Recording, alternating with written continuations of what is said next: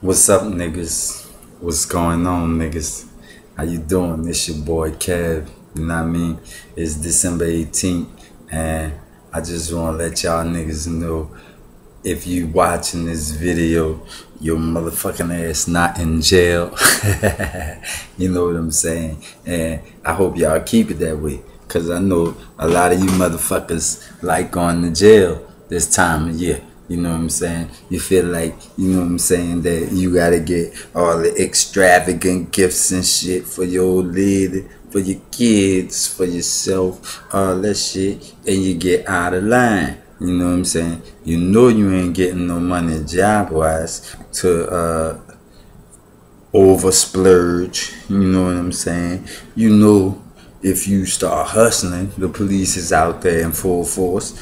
You know what I'm saying? And if you know if you just out there scamming people.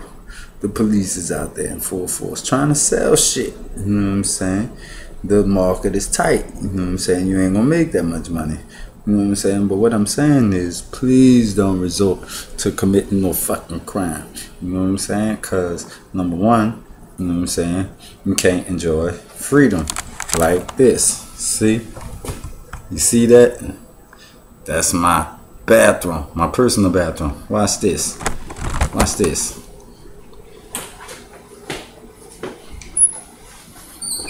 See, reason number one why you shouldn't go to jail, cause you won't have your own ass space. You know what I'm saying? You won't. You know what I'm saying?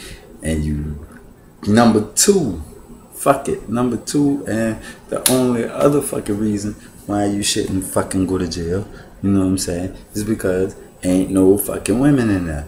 You know what I'm saying? You ain't gonna be doing nothing but beating off to fucking old ass magazines, another nigga beat off to, or pictures. You want a woman out here on the streets to take her time out to send you, you know what I'm saying, knowing you gonna pass them bitches around the jail so women be careful. You know what I'm saying? And fuck, that's it. You know what I'm saying?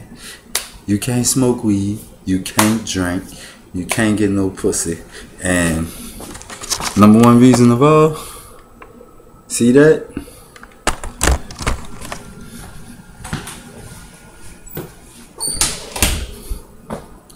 You can't close the motherfucking door when you go to take a shit. You know what I'm saying? So, fuck it.